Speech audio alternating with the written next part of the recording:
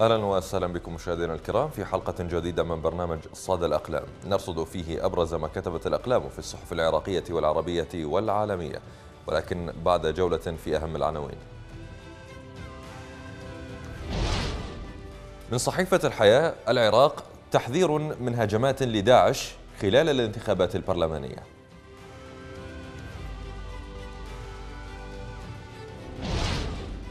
من صحيفة القدس العربي بارزان يبحث موازنة كردستان مع مسؤولين عراقيين وواشنطن ترحب بالحوار بين أربيل وبغداد.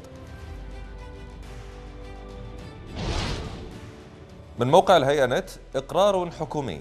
سرقات ممنهجة للأراضي الزراعية حول بغداد.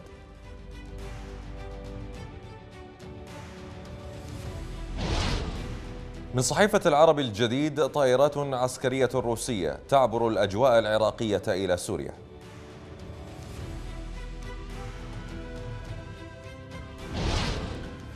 ومن موقع الخليج أونلاين ترامب يهدد روسيا وروسيا تتوعد حرب كلامية تسبق المعركة في سوريا.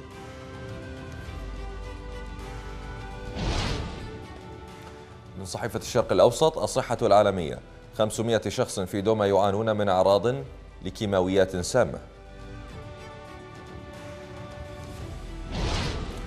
وأخيرا من العرب اللندنية إيران تصعد في اليمن استباقا لخطط تطويق نفوذها في المنطقة.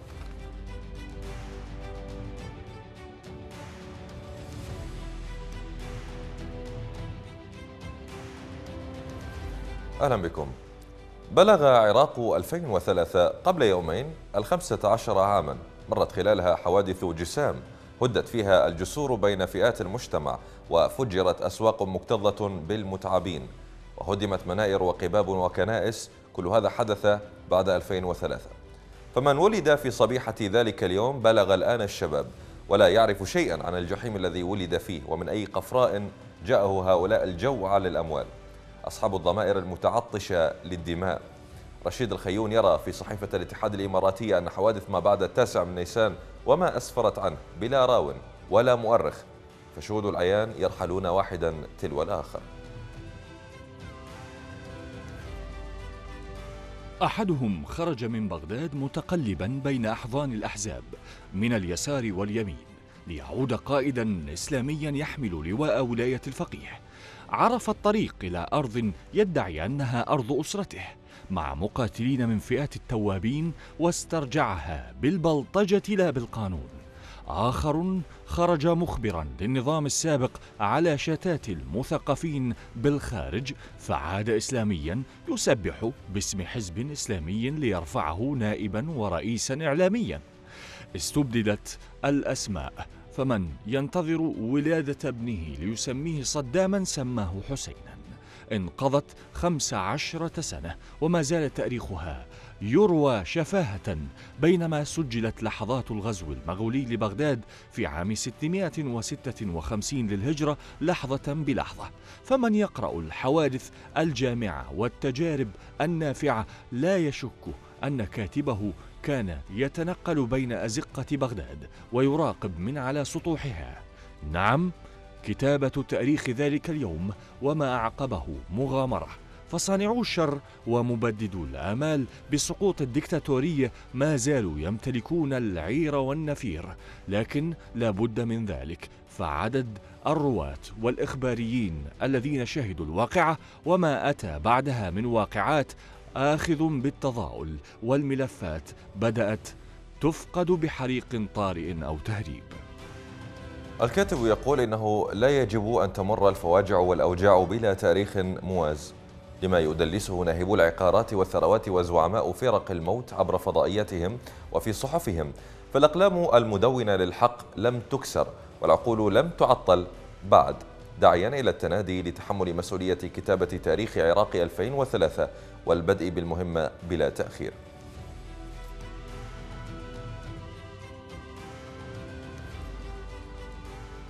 ذكرت صحيفة العرب الجديد في تقرير لها أن مرشحين علمانيين مدنيين سحبوا ترشيحهم للانتخابات المقبلة في العراق بعد تعرضهم لحملات تشويه قادتها جيوش إلكترونية تابعة لأحزاب دينية.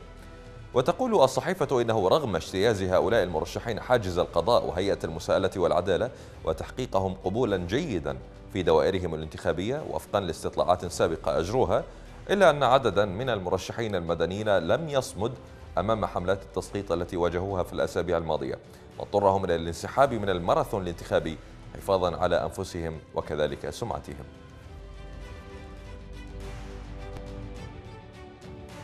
الصحيفة تضيف أن عددا من المرشحين المدنيين أو ما بات يطلق عليهم اليوم غير الإسلاميين لم يستطيعوا الصمود فقد شهدت الأيام الأخيرة انسحاب أكثر من عشرة مرشحين بعد حملات نفذتها ضدهم جيوش إلكترونية تابعة لأحزاب إسلامية وفصائل مسلحة في بغداد وعدد من مدن العراق.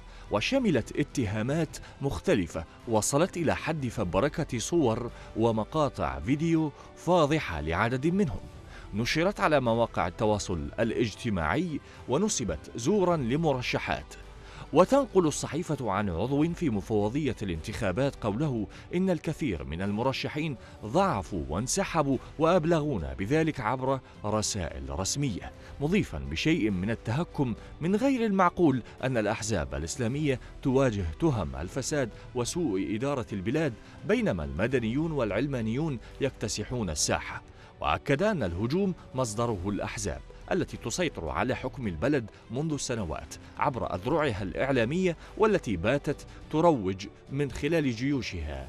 تهما عديدة تعلم جيدا أن الشارع العراقي يتحسس منها فيما اتهم عمر زياد سامي وهو مرشح للانتخابات البرلمانية المقبلة عن تحالف تمدن أحزابا إسلامية بممارسة الابتزاز والتسقيط مع مرشحي التيار المدني. الصحيفة تنقل عن المرشح قوله إن الأحزاب الدينية فشلت في إدارة البلد وقادته إلى حروب وخسائر وبمحاولة لركوب الموجة سعت خلال الفترة الماضية إلى تبديل أسمائها إلى تكتلات معينة في محاولة لخداع العراقيين مرة أخرى بشكل جديد مزيف. مشيرا إلى أن مواقع التواصل الاجتماعي في العراق ليس لها عمل هذه الأيام غير التسقيط بالمرشحين المدنيين.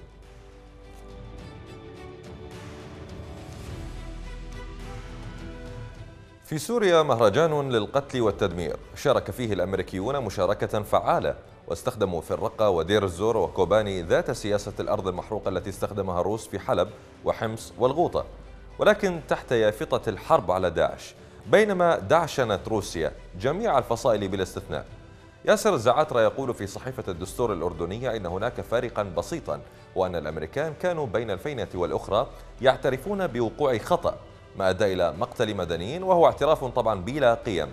أما الروس فلم يعترفوا أبدا بأي خطأ في عملية القصف والتدمير التي مارسوها ربما لأن صواريخ بوتين المباركة تماما مثل حربه المقدسة التي يخوضها.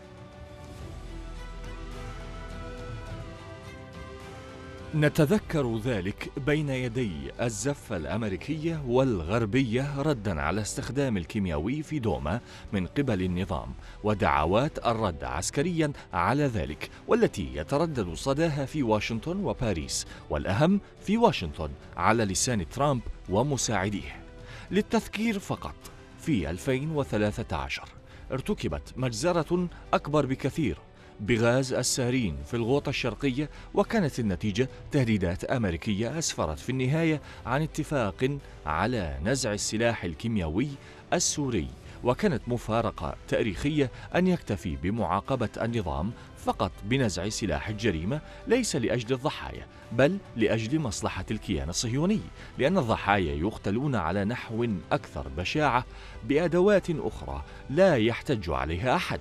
ربما كان من الصعب الجزم بتفاصيل الرد الأمريكي المقبل. وقبل ذلك بحدوثه أصلا وإن بدا احتماله كبيرا. لكن المهم هو أن أي رد لن يتجاوز في واقع الحال حدود الاستعراض الذي يمنح الغرب بعض الوجه. الأخلاقي من دون أن يغير شيئا في استراتيجيته التي تؤكد الحفاظ على النظام. وقبل ذلك وبعده على إطالة أمد الحرب من أجل استنزاف الجميع. الروس الآن في المقدمة بالنسبة لأمريكا وهي ذات الاستراتيجية الأمريكية الصهيونية منذ بدء عسكرة الثورة السورية. الكاتب يرى أن سوريا باتت مجزرة القرن التي أطلق شرارتها خامنئي بقراره التدخل ضد شعب خرج يطلب حريته وكرامته كجزء من ربيع الشعوب. ومكث يبذل الدماء في الشوارع شهورا دون رصاصة واحدة قبل عسكرة الثورة بقرار من النظام. فكان تدمير البلد وقتل وتهجير الملايين من شعبه وكان استنزاف شعب إيران وكل شعوب المنطقة بينما حقق الصهاينة مكاسب كبيرة. ومعهم الأمريكيون الذين صار لهم موطئ قدم في سوريا.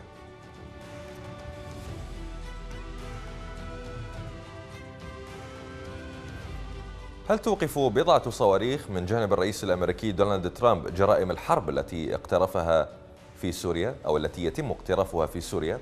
وهل يرتدع رئيس النظام السوري بشار الأسد فلا يقطع أي خط أحمر يرسمه ترامب كما سبق له أن قطع خط باراك أوباما؟ أم أن الأمر يحتاج من ترامب إلى ما هو أبعد من ضربة صاروخية.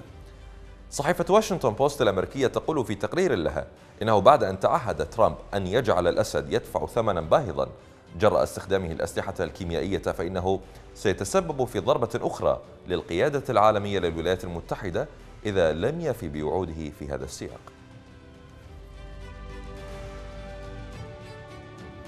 الصحيفة ترى أن بضعة صواريخ أمريكية لن تحدث تغييرا في سوريا فالأمر يتطلب استراتيجية منسقة لحماية المصالح الأمريكية الحيوية في الحرب متعددة الأطراف المستعرة هناك وهو ما لم يفلح ترامب في تحقيقه على الرغم من حث العديد من مستشاريه له على فعله مشيرة إلى أن نظام الأسد كان قد قصف خان شيخون بريف إدلب بغاز السارين السام في نيسان 2017 مما حدا بترامب إلى إصدار أوامره بتوجيه ضربة صاروخية إلى مطار الإشعارات الذي انطلقت منه تلك الغارة لكن النظام السوري استخدم الكيميائي بكميات أصغر نحو سبع مرات بعد تلك الحادثة دون أن يحرك ترامب ساكنا.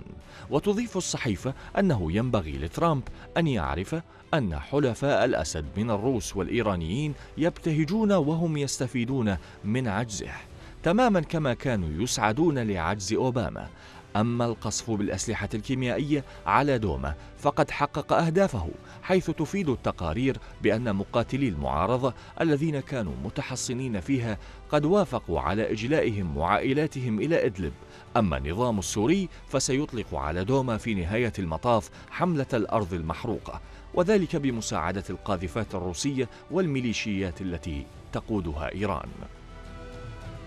وتختتم الصحيفة بالقول إن الحقيقة التي لم يدركها ترامب بعد فتتمثل في أنه طالما بقي الأسد في السلطة فإن حروب سوريا ستتواصل متسببة في ظهور تنظيمات إرهابية وفي دفع المزيد من اللاجئين إلى أوروبا. وتساءلت واشنطن بوست عن جدوى الضربات الصاروخية ما لم تتبعها مبادرات عسكرية أو دبلوماسية أمريكية وما لم تسبقها خطة محكمة.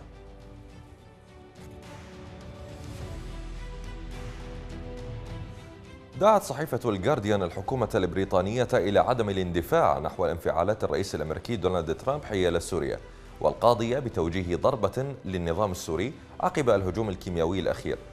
مؤكدة أن الموضوع يحتاج إلى خطة شاملة ترهن إعادة أعمار سوريا بإنهاء حكم الأسد دون أن يعني ذلك إغفال أهمية العمل العسكري. وتضيف الصحيفة أن التقاعس قد يحمل مخاطر أكبر من مخاطر العمل العسكري وهو ما ظهر جليا في سوريا بعد أن استخدم بشار الأسد السلاح الكيميائي ضد شعبه. الصحيفة تقول إن الأمر قد يتطلب حدثا استثنائيا ومجموعة من الظروف التي قد تنشأ في ظل التدخل العسكري من قبل بريطانيا.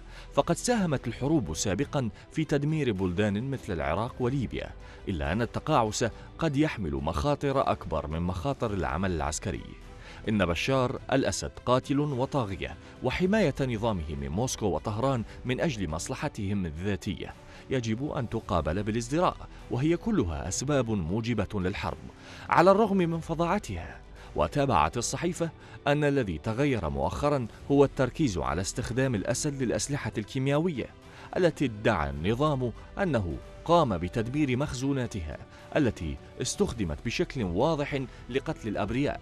وترى الصحيفة أنه من الخطأ الاعتقاد بأن هذا سيكون كافيا لانضمام بريطانيا إلى ترامب في قصف القواعد الجوية السورية التي يتم إصلاحها بسرعة واستخدامها في غضون أيام.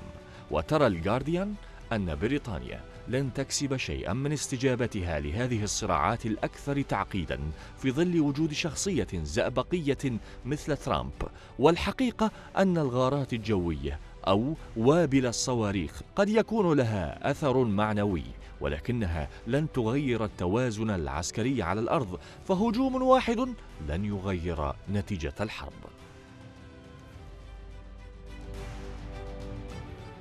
إنما يتوجب على بريطانيا أن تفعله بحسب صحيفة الجارديان أن تمضي نحو السلم الشجاع وأن تؤكد على أن إعمار سوريا مشروط بمغادرة الأسد ووقف التطهير العرقي. يرافق ذلك توسيع برنامج المساعدات الإنسانية والتعامل مع اللاجئين. وأكدت الصحيفة أن العمل العسكري لا يمكن الاستخفاف به لكن يجب إيجاد استراتيجية واضحة.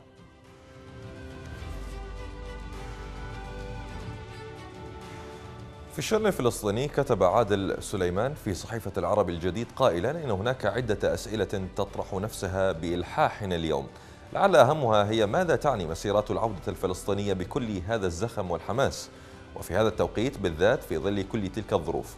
ولماذا شعر الكيان الصهيوني بالقلق الشديد؟ وكان رد فعله انفعاليا وعنيفا وغاشما أدى إلى سقوط عدد كبير من القتلى والمصابين من المواطنين العزل بينهم أطفال.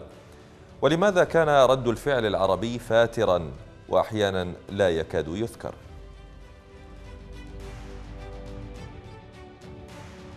الإجابة عن كل تلك الأسئلة شديدة الأهمية تحتاج وقفة نسترجع فيها المشهد الفلسطيني منذ اندلاع الانتفاضة في العام 2000 وتصاعد نشاط حركات المقاومة الفلسطينية المستقلة عن منظمة التحرير خصوصا حركتي حماس والجهاد الإسلامي والتي تتخذ من قطاع غزة مركزا رئيسيا لها. والانسحاب الإسرائيلي الأحادي الجانب من قطاع غزة في العام 2005 وعقد اتفاقية المعابر التي تنظم الحركة من قطاع غزة وإليه ثم الانتخابات الفلسطينية في عام 2006 وفوز حركة حماس ومؤيديها بالأغلبية التي مكنتها من تشكيل حكومة فلسطينية. لم يكن الهدف من استرجاع ذلك المشهد بأحداثه المتتابعة عملية سرد تاريخي للتذكرة بتلك الوقائع لكن الأمر يتعلق بصلب الموضوع الذي نتناوله وهو مسيرات العودة التي نظمتها المقاومة الفلسطينية في غزة وما أثارته من تساؤلات حيث إن استعراض المشهد الفلسطيني بإيجاز يوضح أن المقاومة الفلسطينية كانت حية فاعلة تجعل من القضية الفلسطينية ملء السمع والبصر والأهم أن المقاومة كانت تمثل الأمل للشعب الفلسطيني في الحصول على حقوقه المشروعة في أرضه ومقدراته ومقدساته. الكاتب يختتم مقاله بالقول إنه بينما يستعد الكيان الصهيوني للاحتفال بالذكرى السبعين لاغتصاب الأرض بمشاركة أمريكية في الرابع عشر من أيار المقبل جاءت مسيرات العودة وخروج مئات الآلاف من الفلسطينيين لتجدد الأمل في العودة ليس فقط للبشر ولكن أيضا للحقوق والمقدسات. وذلك عبر إقامة أو عبر المقاومة التي ستبقى أنبل ما في هذه الأمة وستبقى إبداعاتها تبعث فيها الأمل بحسب الكاتب.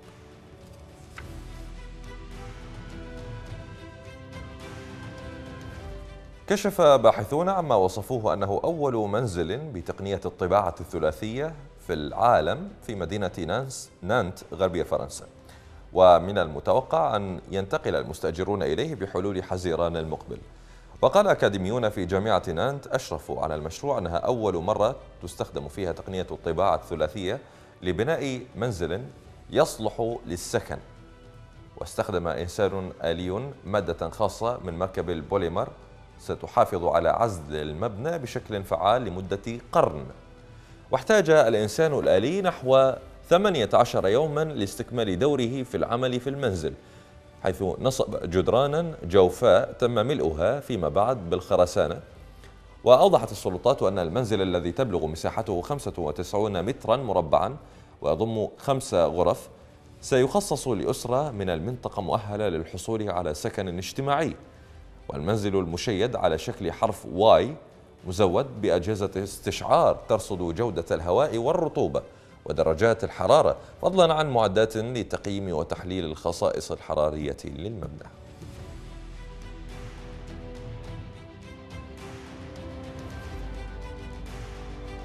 والآن نتابع الكاريكاتير.